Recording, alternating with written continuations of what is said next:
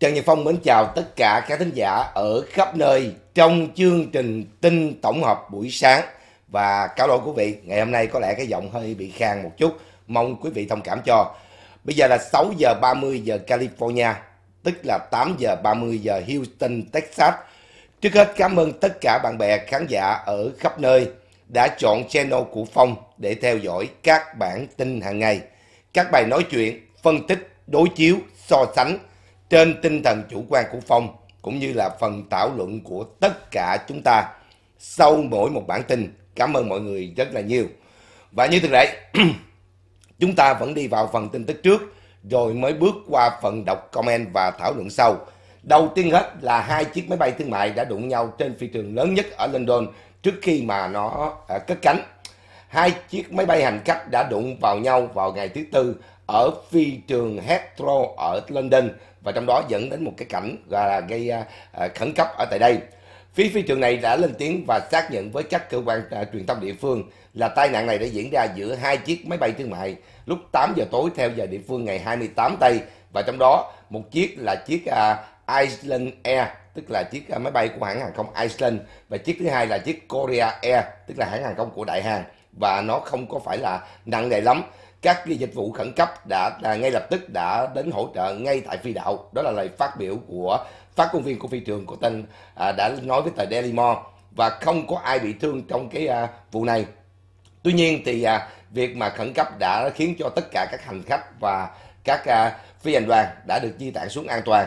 Theo tường trình của một cái một cái webcam ở tại phi trường thì đây được xem là một trong những cái à, tai nạn hiếm hoi và chiếc máy bay của hãng Korea là chiếc Boeing 777 cùng với lại chiếc xe máy bay của hãng Iceland Air là chiếc Boeing 757 đã có sự đụng nhau ngay trên đường phi đạo và diễn ra tại là London ngày hôm nay.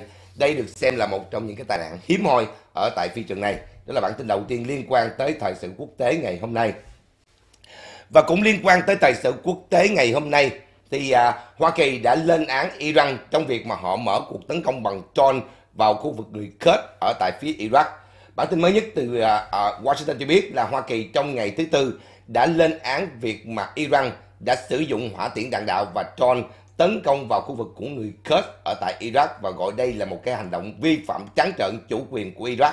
À, phía lực lượng cách mạng Hồi giáo Iran trong ngày thứ Tư cho biết họ đã bắn một số những hỏa tiễn và drone nhắm vào các mục tiêu quân sự của người Kurd ở cái quốc gia láng giềng là Iraq, nơi mà các giới chức cho biết là có 9 người đã bị thiệt mạng. À, trên hết chúng tôi lên án tất cả những hành động mà đe dọa tới à, người dân của Iraq đó là một trong bản những bản statement mà phía Bộ Ngoại giao Hoa Kỳ đã đưa ra và trong đó thì à, phía Iran đã mở cuộc tấn công vào các vị trí quân sự của người Kurd ngay sau khi một cô gái Iran gốc người Kurd 22 tuổi đã bị thiệt mạng trong một cái đồn cảnh sát sau khi cô bị bắt về đây về tội vi phạm cái uh, quy định ăn mặc của Iran và dẫn tới cuộc biểu tình kéo dài 12 ngày qua trên lãnh thổ của Iran. Đó là bản tin liên quan tới tình hình của quốc tế ngày hôm nay. Và cũng liên quan tới tình hình quốc tế ngày hôm nay, một ứng cử viên của Hoa Kỳ đã đánh bại ứng cử viên của Nga để giành vị trí đứng đầu của cơ quan viễn thông của Liên Hiệp Quốc trong một cuộc chạy đua rất là hiếm hoi. Tin bù từ Bucharest ở Romania cho biết là người có tên là Dorin Bona Martin, vốn là đại diện của Hoa Kỳ đã được Liên Hiệp Quốc chọn vào ngày thứ Năm đứng đầu cơ quan đặc trách về viễn thông của Liên Hợp Quốc và đánh bại một đối thủ người Nga à, sau khi mà có một cuộc chạy đua được xem là khá gay gắt giữa lúc mà Nga đang có cuộc chiến tại Ukraine. À, đặc sứ này, à, xin lỗi quý vị, đặc sứ từ 193 quốc gia thành viên có trụ sở đặt tại à, Geneva và gọi là International Telecommunication Union tức là một cái nghiệp đoàn quốc tế về viễn thông đã chọn Boda Martin à, để mà có thể đứng đầu cái cơ quan này và đánh bại đối thủ của Nga có tên là Rashid Ismailov à, sau khi mà có phiên họp và bỏ phiếu. Và cái à, cuộc họp này kéo dài là thường niên là 4 năm một lần và sẽ chọn ra người đứng đầu. Bogdan Martin, à, người đã bắt đầu 4 năm làm việc với cái à, vai trò là ITU và tổng thư ký của ITU và sẽ bắt đầu công việc của bà vào ngày 20 ngày 1 tây tháng giêng năm tới. Năm nay 29 tuổi, bà một là một cựu nhân viên và là từng là giám đốc của một cái à, à, cơ quan đặc trách về viễn thông và dường như bà đã bắt đầu công việc của bà tại Bộ Ngoại giao Hoa Kỳ. Bà đã thắng được vị trí này với 139 phiếu trên 25 phiếu sau khi mà có cuộc bỏ phiếu và một số những quốc gia nhiều là có một số quốc gia đã bỏ phiếu trắng. Phát biểu ở trong à, cái à, phiên họp ở tại à, Bucharest ở tại Romania, bà đã, bà bà Martin cho biết rằng vị trí này là một vị trí rất quan trọng và bà mong muốn rằng sẽ phục vụ cho tất cả công chúng, kể cả những người ở tại Hoa Kỳ khi lãnh đạo cơ quan này. Bà được xem là người phụ nữ đầu tiên lãnh đạo cơ quan ITU và là người Hoa Kỳ đầu tiên giữ à, cái à, vị trí này kể từ thập niên 1960. Đây được xem là cuộc à, đua khá gay gắt ở tại cái cơ quan đặc trách về quy tắc quyền viễn thông trên thế giới. Đó là bản tin liên quan tới tình hình của quốc tế ngày hôm nay. Và cũng liên quan tới tình hình quốc tế ngày hôm nay, Nga tuyên bố là sẽ ờ, có cái lời xác nhập bốn khu vực của Ukraine vào ngày thứ Sáu. Trong đó thì ông Putin cũng sẽ có một cái lời bài diễn văn liên quan tới vấn đề này. Phía Nga cho biết họ sẽ chính thức à, đồng ý là sẽ xác nhập bốn vùng lãnh thổ mà họ chiếm đóng tại phía đông của Ukraine vào ngày thứ Sáu. Phát ngôn viên của Điện Kremlin là Dmitry Peskov đã cho biết vào ngày thứ Năm và Nga có thể sẽ giờ bắt đầu cái à, buổi lễ này vào lúc 3 giờ chiều giờ của Moscow vào ngày thứ Sáu. Ông ta cho biết buổi lễ này là sự đồng ý cho một cái phần lãnh thổ mới được xác nhập vào Liên bang Nga. Hiện vẫn chưa rõ Nga sẽ duyệt xét cái phần lãnh thổ này là một phần của Nga hay chỉ là một cái buổi lễ bắt đầu cho tiến trình này. Phía của à, phát ngôn viên của Tổng thống Nga cho biết à, là ông Vladimir Putin có thể sẽ có một bài diễn văn trong buổi lễ được xem là một cái thỏa ước giữa Nga sau khi mà Nga đã bổ nhiệm một số những viên chức địa phương hầu hết là những người Ukraine thân Nga. Bốn vùng lãnh thổ này là Donetsk, Luhansk, Kherson và Zaporizhia à, chiếm khoảng 15% lãnh thổ của Ukraine theo tường trình của hãng thông tấn Reuters. Và các giới chức của Nga đã tổ chức một cuộc trưng cầu dân ý mà bị khối Tây Phương và Hoa Kỳ xem đây là cuộc uh, trưng cầu dân ý đầy giả tạo và người của Ukraine đã phản đối cuộc uh, trưng cầu dân ý này và cho rằng là không có hợp, hợp pháp và đồng thời các quốc gia Tây Phương cũng như Hoa Kỳ không thừa nhận tính chất hợp pháp của cuộc trưng cầu dân ý này. Theo tường trình cho biết thì uh, lực lượng vũ trang sẽ đến từng nhà để thu phiếu và trong đó họ đe dọa sẽ bắn những người Ukraine nào mà không tham gia vào cuộc trưng cầu dân ý. Tổng thư ký của Liên minh NATO là ông John Stoltenberg đã lên án cuộc trưng cầu dân ý này vào tuần trước và gọi rằng đây là một cái hành động mà tăng cường cái uh, chiến tranh của ông Putin tại Ukraine. Trong khi đó thì Ngoại trưởng Hoa Kỳ Antony Blinken nói rằng Hoa Kỳ sẽ không bao giờ thừa nhận sự sát nhập lãnh thổ của Ukraine vào lãnh thổ của Nga. Và ông cho biết loan báo của Nga về buổi lễ này, chúng tôi chuẩn bị sẵn sàng sẽ có thêm một số những cái trừng phạt để uh, Nga phải trả giá cho cái việc sát nhập bất hợp pháp này trong khi đó thì tổng thống của Ukraine là ông Zelensky đã lên tiếng cảnh cáo là Nga có thể uh, sẽ sát nhập và sẽ xử uh, buộc những người Ukraine phải tham gia vào cuộc uh, chiến mà do Nga lãnh đạo. Đây được xem là một trong những cái uh, biến chuyển mới nhất và như vậy ngày mai thứ sáu Nga sẽ chính thức là làm cái buổi lễ được xem là sát nhập cái bốn uh, vùng lãnh thổ này sau khi họ tổ chức một cuộc trưng cầu dân ý.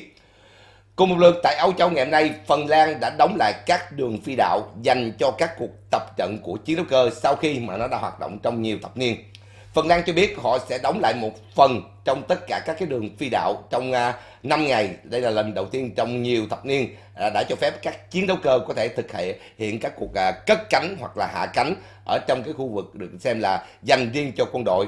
Bản tin mới nhất từ Nordic County tức là quốc gia vùng Bắc cực này à, đang à, à, xin trở thành thành viên của Liên minh NATO diễn ra giữa lúc mà phía Nga đang xâm lấn Ukraine và hàng chục cái à, đường phi đạo dành riêng cho việc mà tập trận đã được à, tạm thời đóng lại. Đây được xem là những cái à, con đường nằm ở à, Chosa, nằm ở trung tâm của Phần Lan và nó đã không được sử dụng trong nhiều năm nay và khi mà nó à, được à, thực hiện cho việc mà tập trận của các lực lượng quân sự ở à, Âu Châu và Helsinki cho biết rằng họ sẽ có thể có phát triển khác.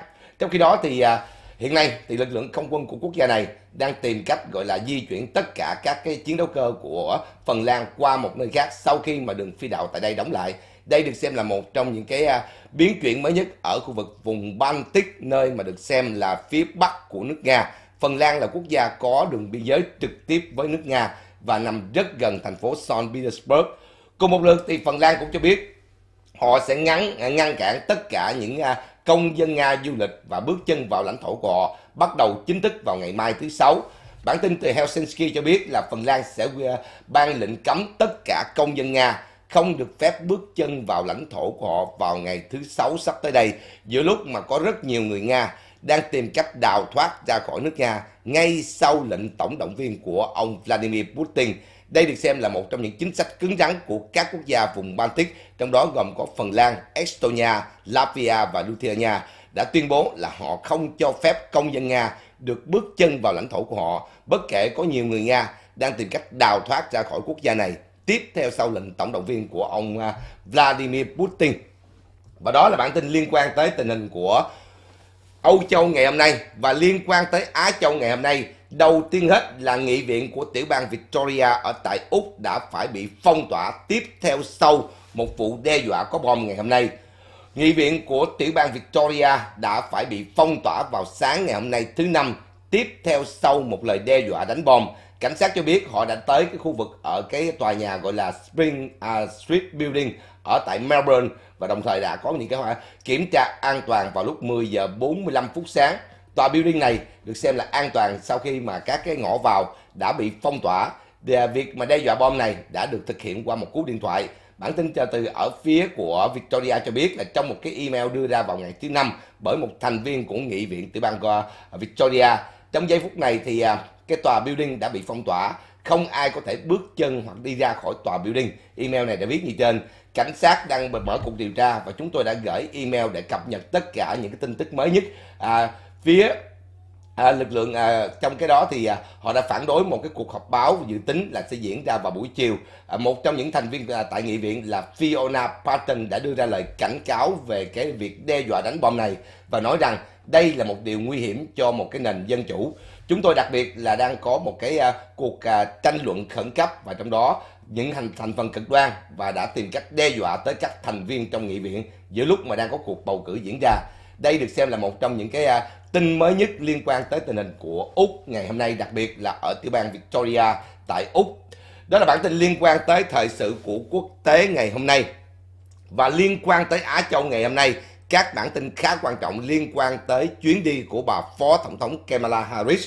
Đầu tiên hết, ở Nhật, bà đã lên án Trung Quốc đã có những cái hành động được xem là gì là quấy rối ở khu vực Á Châu Thái Bình Dương. Tin từ à, Yokosuka ở Nhật Bản, Phó Tổng thống Hoa Kỳ bà Kamala Harris đã lên án ngày gây gắt đối với hành động của Trung Quốc mà bà gọi là gây rối ở khu vực Á Châu Thái Bình Dương và cam kết vẫn tiếp tục duy trì các mối quan hệ được xem là bán chính thức với Đài Loan chỉ vài ngày sau khi mà chính phủ Hoa Kỳ tuyên bố là sẽ sử dụng lực lượng quân sự để bảo vệ cho mảnh đất này nếu như họ bị Trung Quốc tấn công. Bà Harris đã đưa ra lời phát biểu à, ngay trên chiếc à, khu trục hạm của Hoa Kỳ là USS Howard à, trong lúc mà bà viếng thăm cái căn cứ hải quân lớn nhất ở tại à, Yokosuka nằm ở ngay à, gần thủ đô của Nhật Bản. Trung Quốc đang tìm cách phá hủy tất cả những cái à, quy tắc của cộng đồng quốc tế. Bà Harris đã phát biểu trong chuyến thăm 4 ngày tại Á Châu.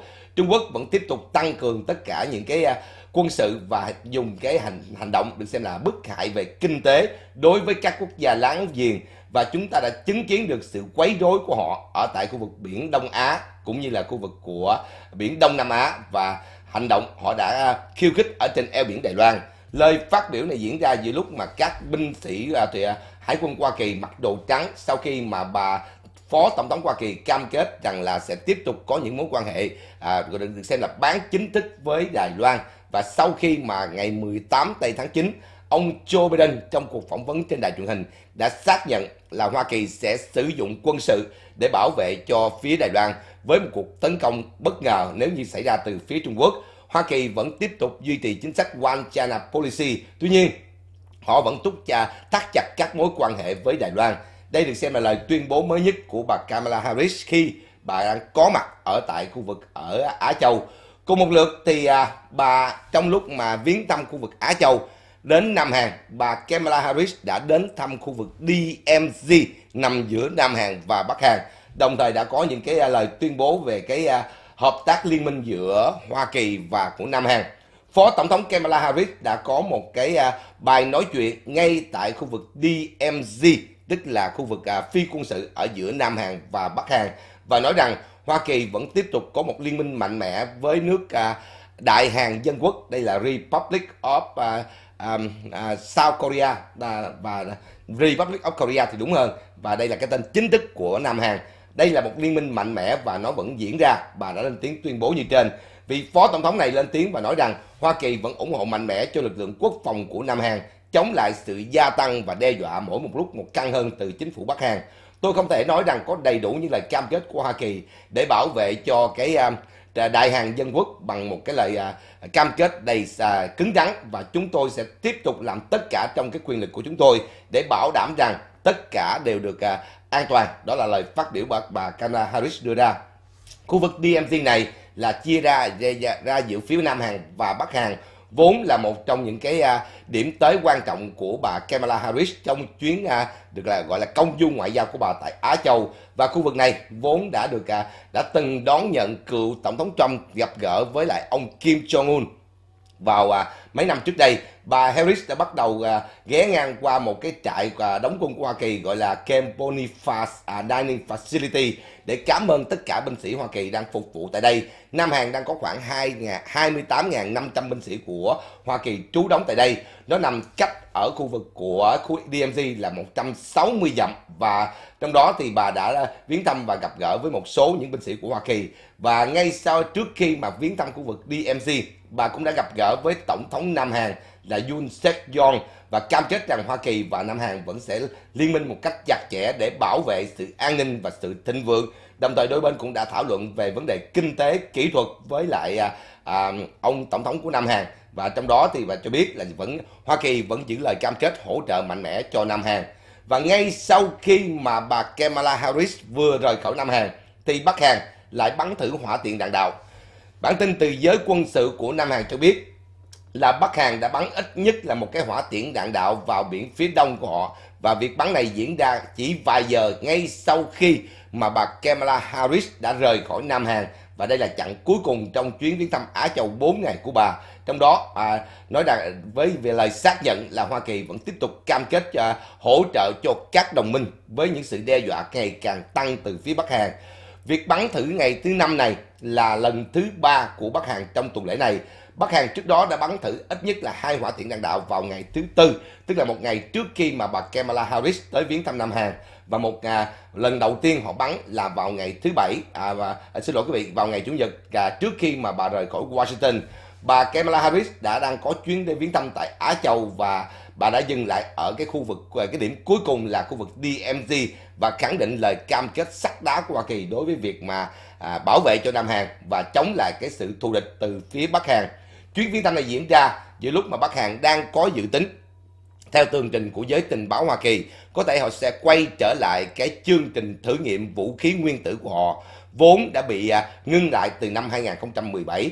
À, đây được xem là một trong những cái à, biến chuyển mới nhất mà có thể làm cho cái khu vực của bán đảo Hàn Quốc trở nên căng thẳng hơn. Và bà Kamala Harris đã lên máy bay và rời khỏi khu DMZ cũng như là Nam Hàn ngay sau khi mà bà viếng thăm khu vực này. Đó là bản tin liên quan tới tình hình của Nam Hàn và của chuyến viếng thăm của bà Kamala Harris và được xem là bản tin thời sự hàng đầu trong channel của Trần Nhật Phong ngày hôm nay. Đó là hai bản tin. Thứ nhất, Nhật Bản và Đức tuyên bố là sẽ có những cái cuộc tập trận để đối diện với lại cái sự gọi là bành trướng và tăng cường quân sự của Trung Quốc. Đó là bản tin thứ nhất. Bản tin từ ở uh, Nhật Bản cho biết là người lãnh đạo của cái lực lượng à, không quân của Đức đã cùng tham gia chung cái cuộc tập trận với lực lượng tự vệ của Nam Hàn trên bờ biển Nhật Bản vào ngày thứ Tư, giữa lúc mà Trung Quốc đang tiếp tục đang e ngại là Hoa Kỳ và Liên hiệp Âu Châu đã bắt đầu có cái sự hiện diện rất đông đảo ở khu vực này để bảo vệ cái quyền tự do hàng hải. Bản tin mới nhất cho biết là hai chiếc F-2 à, fighter tức là chiến đấu cơ của Nhật Bản cùng với lại ba chiếc chiến đấu cơ của Đức có tên gọi là Eurofighter Typhoon đã cùng tham gia một cái cuộc tập trận à, diễn ra tại đây. Và trong đó gần như là một trong những cái à, cuộc tập trận không quân quan trọng lần đầu tiên của lực lượng tự vệ à, không quân tự vệ của Nhật Bản phối hợp với lại lực lượng à, không quân của Đức. Ba chiếc Eurofighter đã đáp xuống Nhật Bản và sau khi ta họ có chuyến bay 8 tiếng đồng hồ từ Singapore là một phần trong cái uh, cuộc mà khai triển lực lượng uh, không quân của Đức tại khu vực Á Châu Thái Bình Dương. Cuộc tập trận này được xem là cuộc tập trận với những đồng minh không phải nằm trong Liên minh NATO và các đối tác tại Á Châu Thái Bình Dương để tăng cường sự hợp tác và theo tường trình của phía Đức đưa ra. Đồng thời phía Đức cũng cho biết rằng là họ đang có một chiếc khinh hạm có tên là Ba Dom đang băng ngang qua Biển Đông vào tạ năm ngoái và lần đầu tiên chiếc máy, à, tàu chiến của Đức đã có mặt ở tại khu vực này sau nhiều thập niên và lần đầu tiên Đức đã bắt đầu tăng cường cái hiện diện quân sự của họ ở cái chiến lược Indo-Pacific của Hoa Kỳ. Bắc Kinh đã từng yêu cầu Đức là không nên à, có những hành động mà họ cho là khiêu khích ở tại đây và đã từng từ chối chiếc à, khinh hạm của Đức có mặt ở tại khu vực Á Châu Thái Bình Dương. Và trong đoạn video được post lên trên cái trang à, không quân của Nhật Bản à, vào ngày thứ năm cho thấy rằng là các chiến đấu cơ của cả Đức của Nhật đã bay với khoảng ở độ cao là khoảng 3.700 m tức là 12.100 feet. Và cuộc tập trận này là để huấn luyện gia tăng tất cả những cái uh, việc giám sát về tự do hàng hải trên uh, khu vực Indo-Pacific và không phải chỉ của Đức và với tất cả những quốc gia Âu Châu khác. Đó là một trong những cái thông báo mà phía Đức đã đưa ra. Cùng một lượt thì uh, đây được xem là một trong những cái cuộc tập trận khá quan trọng sau khi mà có một cái uh, hành động được xem là bành trướng của Trung Quốc. Cùng một lượt cũng trên bờ biển Nhật Bản ngày hôm nay Hoa Kỳ Nhật Bản Nam Hàn đã có một cuộc tập trận hải quân đa phương và sẽ bắt đầu chính thức vào ngày mai thứ Sáu. Bộ Quốc phòng của Nhật Bản và lực lượng à, quốc phòng tự vệ của Nhật Bản sẽ thực hiện một cuộc tập trận hải quân đa phương cùng với lực lượng hải quân của Hoa Kỳ và lực lượng hải quân của Nam Hàn diễn ra vào ngày mai 30 tháng 9 ngày thứ Sáu theo một thông cáo báo chí của lực lượng tự vệ quốc phòng Nhật Bản đã đưa ra vào ngày thứ Năm. À, à, Bộ Quốc phòng Nhật Bản đưa ra và nói rằng cuộc tập trận này là sẽ tìm cách gọi là chống lại những cái khả năng gọi là à, tấn công của các tìm thủy đỉnh diễn ra trên bờ biển Nhật Bản và cách à, cái à, khu vực của đảo Dok, à, Dokdo là 150 km và trong đó mục tiêu cuộc tập trận này là gia tăng sự hợp tác giữa ba lực lượng hải quân để mà tăng cường cái khả năng phòng thủ và tấn công của họ. Các tàu chiến của hải quân đã bắt đầu tập thì à, tập trận ở tại khu vực Asahi và trong đó uh, bao gồm các chiếc là USS Ronald Reagan tức là chiếc hàng không mẫu hạm của Hoa Kỳ, USS Challenger uh, à, và USS Perry cũng như là chiếc USS Benford các khu trục hạm của Hoa Kỳ. Và đây là lần đầu tiên trong hơn 5 năm qua đã có 3 quốc gia thực hiện một cuộc hải quân đa phương và trong đó cuộc tập trận này đã bị ngưng lại từ năm 2017 ở trên đảo Jeju của Nam Hàn theo tường trình của đài KBS và Nhật Bản cũng như Nam Hàn lần đầu tiên đã tập trận trở lại sau một thời gian gọi là có cơn cơn khủng hoảng giữa hai quốc gia. Đặc biệt là à, có một cái quan điểm riêng biệt giữa thủ tướng của Nhật Bản là ông Kishida Fumio và ông tổng thống của Nam Hàn là ông Yoon Suk Yeol tức là hai vị tân lãnh đạo của hai quốc gia này đây được xem là cuộc tập trận khá quan trọng của Hoa Kỳ và các đồng minh và à, phía của Hoa Kỳ cái, à, lực lượng hải quân của Hoa Kỳ đã có mặt ở khu vực này từ ngày 21 và kéo dài cho tới ngày 23 tháng 9 vừa qua. Đó là bản tin liên quan tới tình hình của khu vực Đông Bắc Á. Và cũng liên quan tới khu vực Đông Bắc Á ngày hôm nay, Nhật Bản, Pháp và New Zealand đã hậu thuẫn cho Đài Loan có vai trò lại ở cơ quan ICAO tức là cơ quan hàng không dân sự của Liên Hiệp Quốc. Bản tin mới nhất cho biết rằng cả Pháp, Nhật Bản và New Zealand trong ngày thứ Tư đã thúc giục cộng đồng quốc tế và cơ quan ICAO tức là International Civil Aviation Organization là phải bao gồm luôn cả cái sự hiện diện của Đài Loan. Phái đoàn của Pháp đã chuyển tới một cái à, à, văn thư trong đó nói rằng chúng tôi vẫn hỗ trợ mạnh mẽ cho vai trò của Đài Loan à, phải có mặt sự hiện diện trong tổ chức ICAO. Trong khi đó thì à, bò, à, bên à, Nhật Bản à, một cái cơ quan được đặt trách về vấn đề hạ tầng cơ sở và à, vận tải cũng như là vận chuyển cũng như là ngành à, du lịch của à, Nhật Bản có tên là Toshiro Toyoda cũng lên tiếng nói rằng quốc gia của ông ủng hộ mạnh mẽ cho phiên họp của ICAO và cần thiết nhất là các vùng lãnh thổ và các quốc gia cần phải có cái vai trò của họ và cần phải có sự hiện diện của họ trong tổ chức của hàng không dân dụng quốc tế.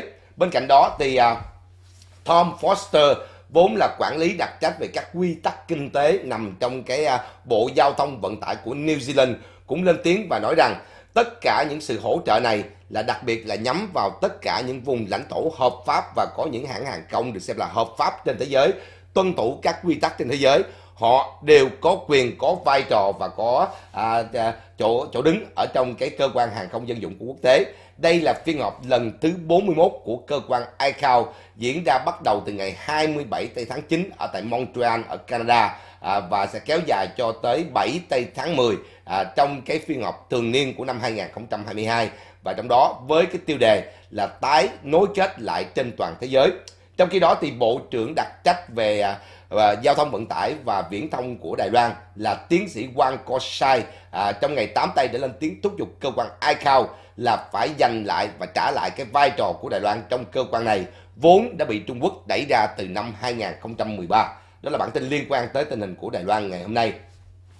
Và cũng liên quan tới tình hình của Đài Loan ngày hôm nay, à, à, một cái phái đoàn đa đảng ở Nghị viện Đức đã bắt đầu à, sẽ bắt đầu có mặt ở Đài Loan vào ngày Chủ nhật sắp tới.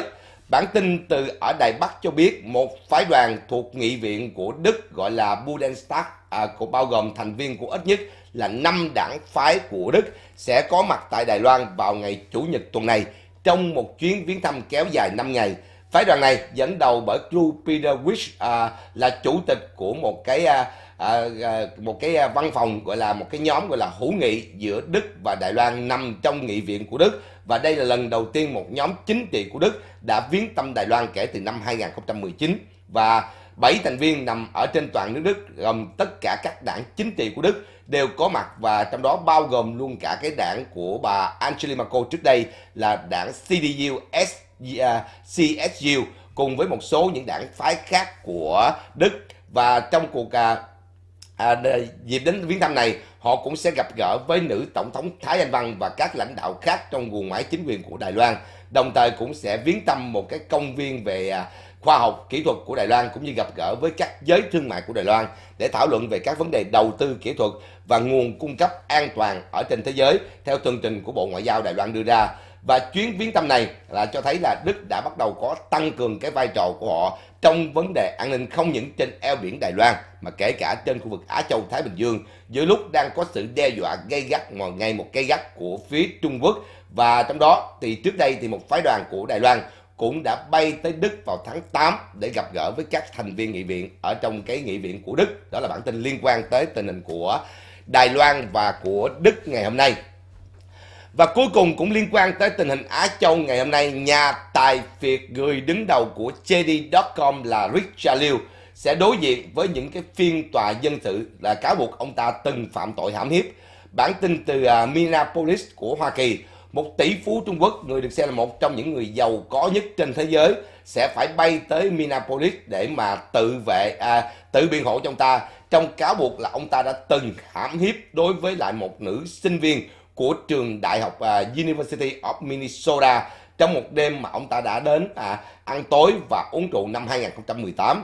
Người này có tên là Richard Liu, vốn là người sáng lập và tổng giám đốc của một công ty à, à, buôn bán hàng điện tử, tức là à, JD.com, đã bác bỏ việc mà ông ta đã hãm hiếp đối với lại người cựu sinh viên này và cao các công tố viên vẫn chưa có nộp một cái đơn truy tố về tội hình sự. Tuy nhiên, người phụ nữ này là Trinh Giao Liêu đã nộp đơn để kiện trên một cái tòa án dân sự cáo buộc rằng cô đã bị ép uống rượu trước khi mà ông à, uh, Richard Liu đã hãm hiếp cô ở trong một chiếc limousine và hãm hiếp cô ở trong một cái căn apartment riêng của cô. Cả các à, cả đôi bên đều sẽ xuất hiện trong cuộc điều trần và lúc đó thì à, sẽ chọn ra bồi thẩm đoàn để có thể nói ra sự thật. Đó là một trong những cái thông báo từ ở cái việc mà tuyển chọn bồi thẩm đoàn về diễn ra vào ngày thứ năm và sẽ mở ra một cái bản statement vào ngày thứ hai. Tôi nghĩ rằng à, các cái um, khách hàng của chúng tôi là một trong những cái à, à, à một trong những cái à, à, có những cái à, bằng chứng mạnh mẽ để có thể chọn và để là để cho phía của bộ thẩm đoàn có thể lắng nghe. Đó là Will Florin là luật sư đại diện cho cô Trinh Giao Liêu và trong đó cô đã cáo buộc phía ông này đã từng có hành động ép cô uống rượu và sau đó à, đưa cô về cái ăn căn apartment của cô ở tại à, Minnesota và rồi thì à, vụ hãm hiếp này đã xảy ra Nhân vật này được xem là nhân vật một trong những nhân vật tỷ phú hàng đầu của Trung Quốc và điều hành sáng lập trang JD.com. Đó là bản tin liên quan tới tình hình của quốc tế ngày hôm nay. Và đó cũng là bản tin sâu cùng trong phần tin thời sự buổi sáng ngày hôm nay. Cảm ơn tất cả khán thính giả rất là nhiều cho bản tin này. Bây giờ thì chúng ta lại bước qua phần đọc comment và thảo luận. trước hết là cho phép Phong xin lỗi là bởi vì sáng ngày hôm nay à, tối Nga ho khá nhiều cho nên sáng ngày hôm nay thì cái giọng hơi bị khang mong là quý vị thông cảm cho nha. Rồi tiếp tục. Ok à nếu như ngân sách à, 4 mà không có hỗ trợ Texas di trú mình nghĩ tiểu bang Texas có thể tách rời tiểu bang ra khỏi liên bang công anh. Thứ nhất là em dùng chữ cho đúng đã. Ok. Thứ nhất là ngân sách của tài khóa tam cá nguyệt thứ tư chứ không có quý quyết gì cả. Ok. Thứ hai tiểu bang Texas thì gọi là tiểu bang Texas không có bang biết gì hết nha và đây chỉ là một trong những cái uh, cuộc đóng đá về chính trị. Nó không có nghĩa là Texas vì việc này mà phải tách rời khỏi Hoa Kỳ. Tách rời khỏi Hoa Kỳ mặc dù trên hiến pháp có quy định Texas là một tiểu bang được ưu tiên so với 50 tiểu bang khác nhưng mà tiến trình tách rời này nó nhiều kê và nó mất ít nhất là 5 năm cho tới 10 năm. Từ một cuộc trưng cầu dân ý cho tất cả những cái thủ tục hành chánh tất cả mọi thứ nó không phải đơn giản là ô tại vì cả di dân đông quá tràn vô biên giới. Rồi bây giờ chúng ta phải tách ra để trở thành một quốc gia độc lập. No ok? Thứ nhất là em phải hiểu rõ cái quy trình cái uh, tiến trình để mà thực hiện một cái việc tách rời như thế nào. Và thứ hai nhớ dùng đúng chữ nha. Rồi tiếp tục ok à, tôi xem anh từ facebook. Ok chuyển qua youtube ok cảm ơn các em rất là nhiều. Tập trung vào bản tin đi không cần nhắc tới những chuyện ngoài đời đâu nha rồi tiếp tục. À, nga tạm hoãn việc sáp nhập vào nga. Không biết họ đã ở đâu là nói như vậy. Ok. Cho tới giờ phút này thì cái xác nhận sáng ngày hôm nay của Dmitry Peskov là phát ngôn viên của Điện Kremlin cũng là phát ngôn viên của ông Vladimir Putin đã xác nhận là Putin sẽ có một cái tiến trình thủ tục để mà chính thức xác nhập bốn vùng lãnh thổ này vào ngày mai thứ sáu. Và buổi lễ này diễn ra lúc 3 giờ chiều giờ của Moscow. Thì quý vị đó là cái tin mới nhất mà chúng ta nhận được còn những cái thằng nào tung tin giả hay là tin không kiểm chứng thì đừng lôi nó vô trong cái channel của tôi nha. Rồi tiếp tục. Ok à Zelensky luôn giữ lập trường cứng rắn không đối thoại với Putin nếu đối thoại à, với Putin đồng nghĩa là chấp tay công nhận à, trở, trở lại với Putin. Cho tới giờ phút này thì cả đôi bên chưa bao giờ có cuộc đối thoại cả. Mặc dù trước đó có đàm phán trong một số vấn đề à, bao, bao gồm trao đổi tù binh hay là cái vấn đề liên quan tới cái vấn đề mà xuất cảng lúa mạch hay là cái vấn đề gọi là liên quan tới nhà máy nguyên tử ở Zaporizhia.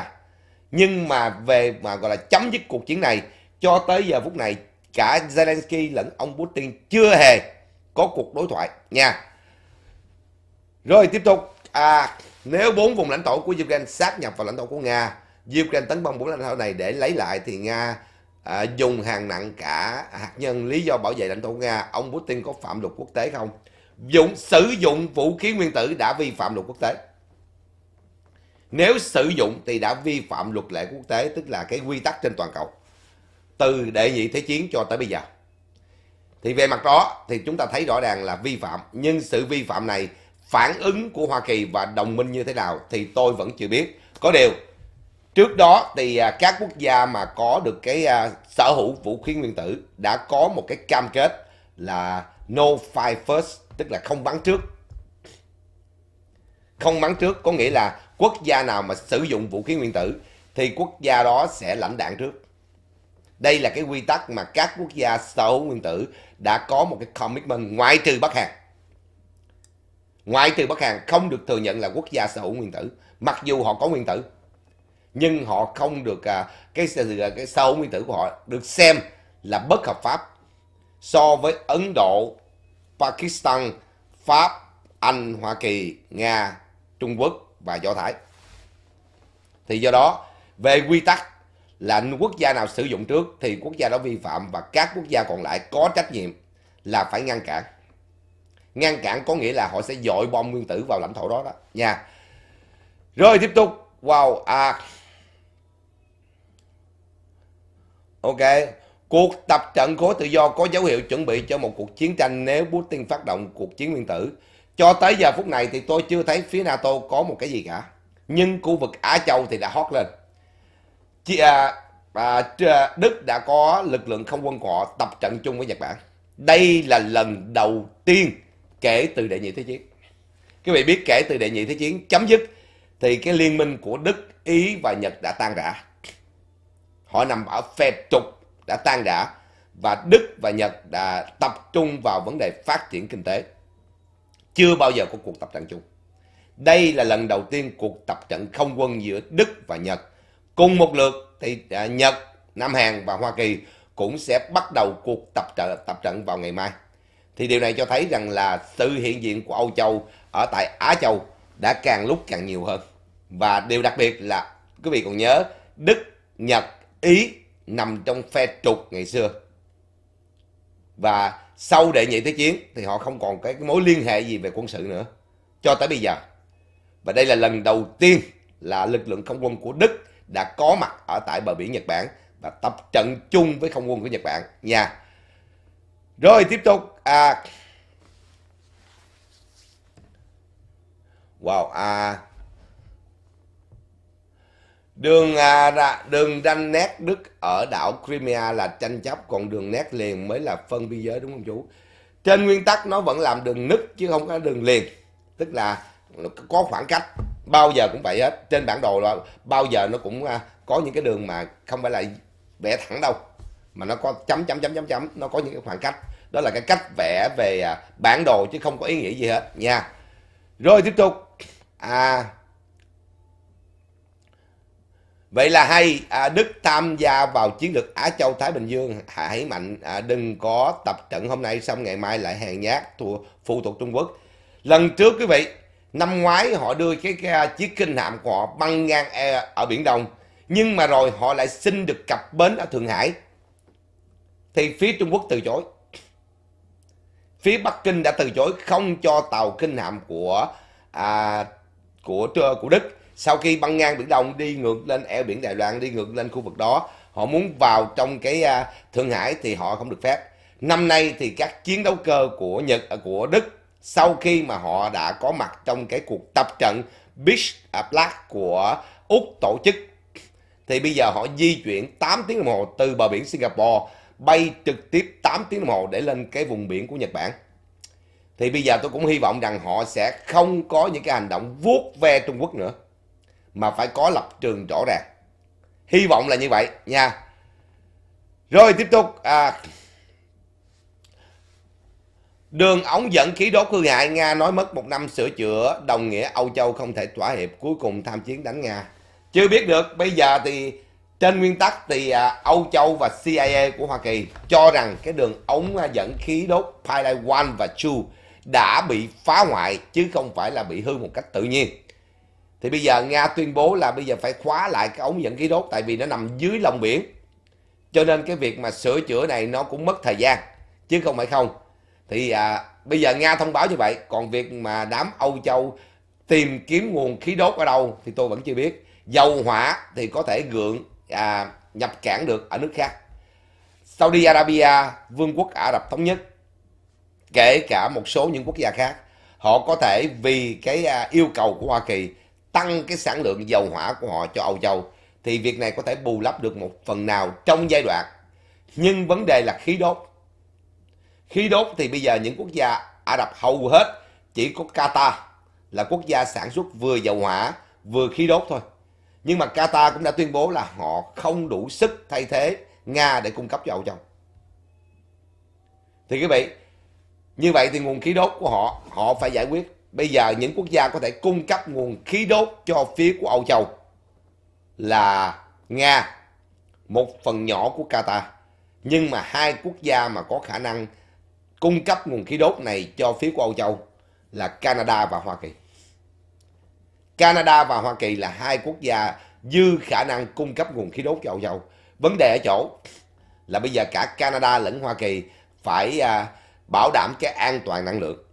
Họ đóng lại tất cả các cái ống dẫn khí đốt, họ không cho khai thác vùng đất liên bang.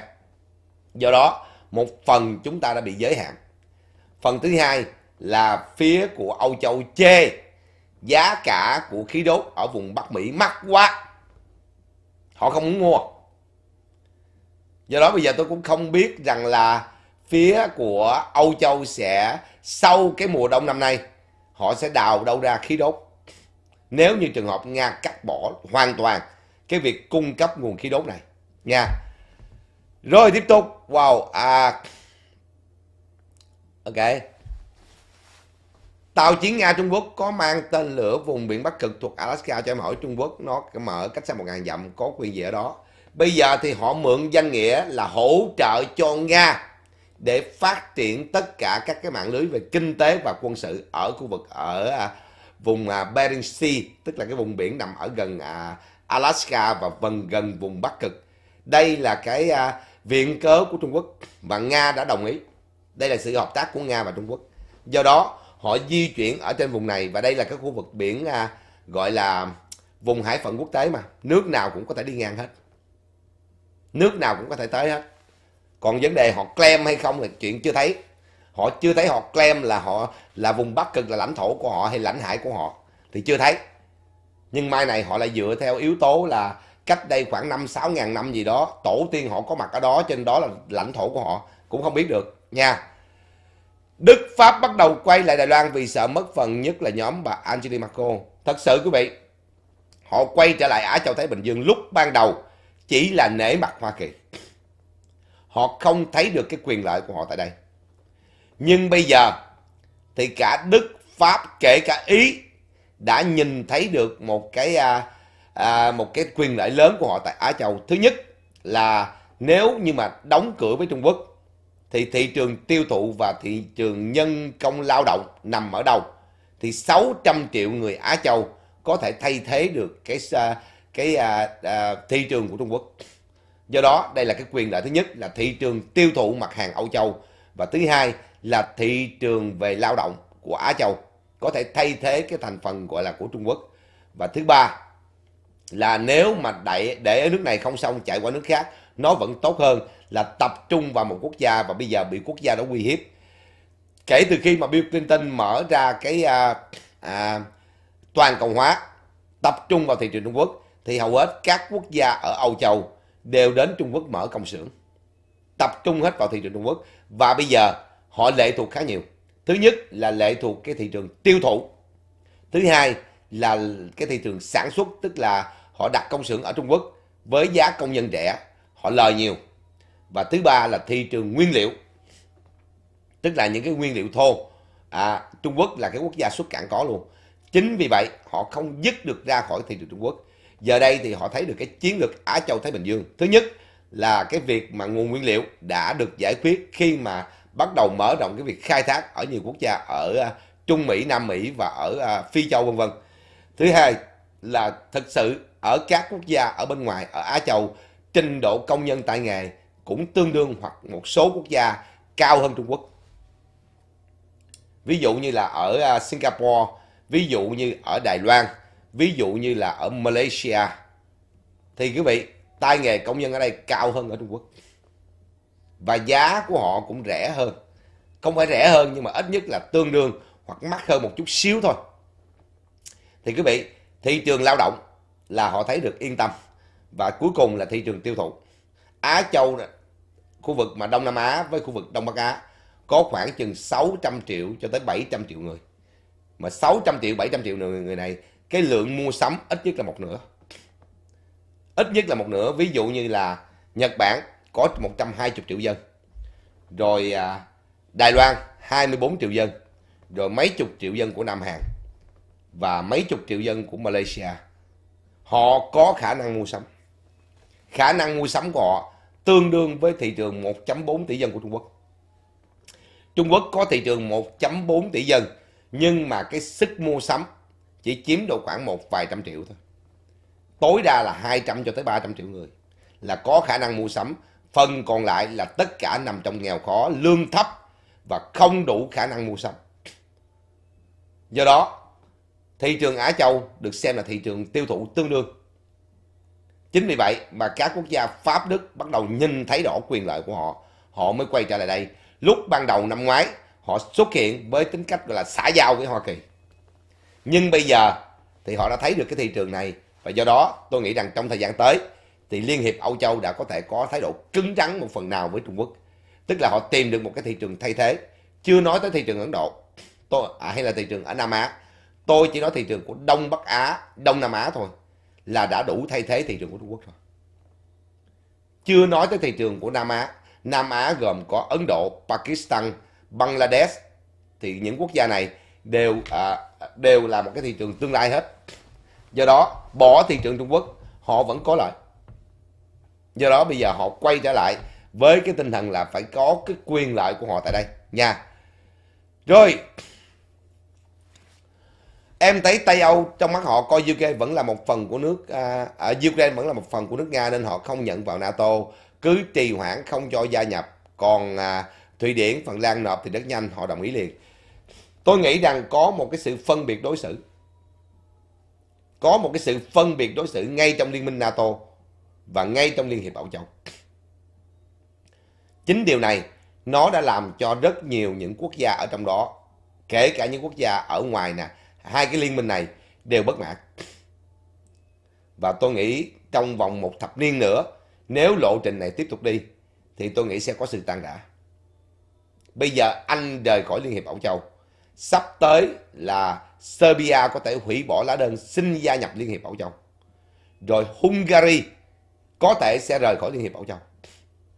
Tại vì à, họ đang bị vây bởi đám cánh tả, họ đang bị phong tỏa và mới đây nhất trong cái bài hiếu tên nhật ký trong ngày hôm nay mà tôi sẽ bàn tới là đảng cánh hữu tại Ý, đảng uh, Brother of Italy thắng cử và bà nữ thủ tướng Melania đã bắt đầu chuẩn bị thành lập nội các thì bà này lại có một thái độ rất cứng rắn với Trung Quốc thì quý vị có thể đảng cánh hữu sẽ lật đổ tất cả những cái thỏa thuận trước đây với Liên hiệp Âu Châu. Và bây giờ Liên hiệp Âu Châu đang gán nhãn, gán nhãn cho đảng của bà là phát xích. Thì đây là nữ thủ tướng đầu tiên của nước Ý. Thì quý vị có thể trong vòng một thập niên với cái lề lối hiện nay của Liên hiệp Âu Châu và Quỹ hội Âu Châu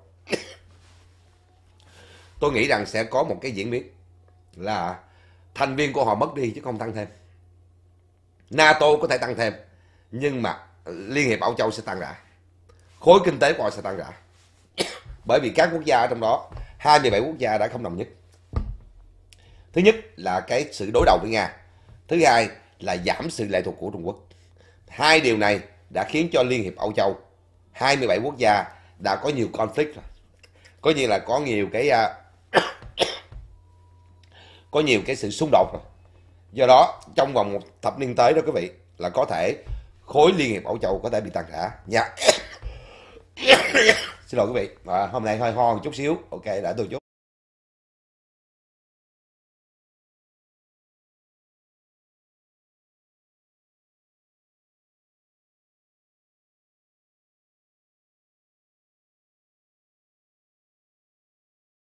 Rồi tiếp tục, ok. À, nếu Nga tuyên bố xác nhập bốn vùng lãnh thổ đó thì à, na cái gì ấy NATO có đưa quân vào tham chiến không được anh? No. Tại vì đâu có liên quan gì tới NATO. NATO chỉ có lời cam kết là bảo vệ từng inches à, cái lãnh thổ đối với những quốc gia thành viên thôi.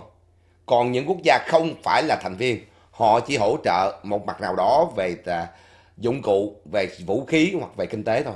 Họ không tham chiến. Có thể thời gian tới họ thay đổi. Nhưng bây giờ thì NATO vẫn né nha. Rồi. wow, à tiếp tục nha. Ok, à chế độ Putin có nguy cơ tan rã có khi nào giống thời Liên Xô không không? Thì nếu nó tan rã nó sẽ tương tự như vậy. Có điều là cho tới giờ phút này vẫn chưa có một cái dấu hiệu nào cho thấy là người Nga có thể lật đổ được Putin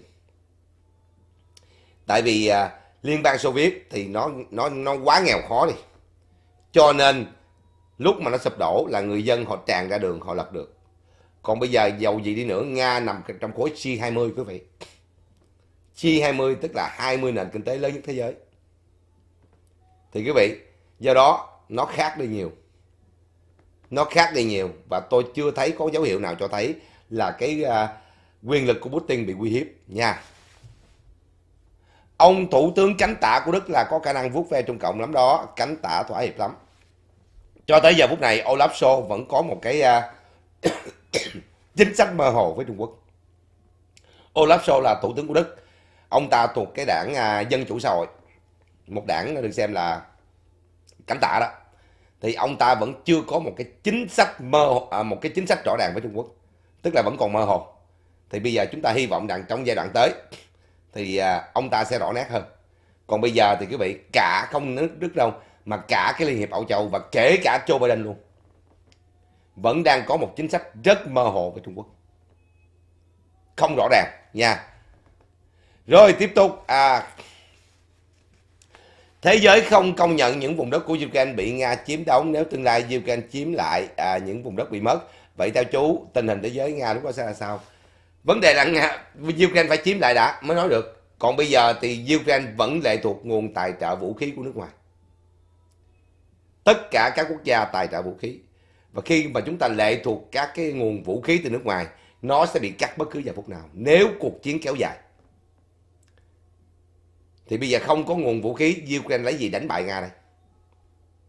Do đó, cái tiêu đề đặt ra là nếu ngày nào đó, tôi không biết ngày nào đó là trong vòng vài năm tới hay là 100 năm tới tôi cũng không biết được tại vì bây giờ trên nguyên tắc tinh thần chiến đấu của binh sĩ Ukraine rất mạnh nhưng trên thực tế họ lệ thuộc toàn bộ vũ khí ở nước ngoài lệ thuộc của Âu Châu, của NATO, của Hoa Kỳ. Nếu một ngày nào đó các quốc gia Âu Châu, ví dụ như Đức, bị áp lực không thể cung cấp vũ khí cho phía của Ukraine, thì lúc đó như thế nào? Lúc đó như thế nào? Ukraine sẽ chiến đấu bằng cái gì đây? Tại vì bây giờ hầu hết các quốc gia đều tài trợ vũ khí cho Ukraine. Nhưng mà họ tài trợ là bởi vì cái tinh thần đoàn kết. Nhưng giống như tôi nói, tinh thần đoàn kết cao lắm một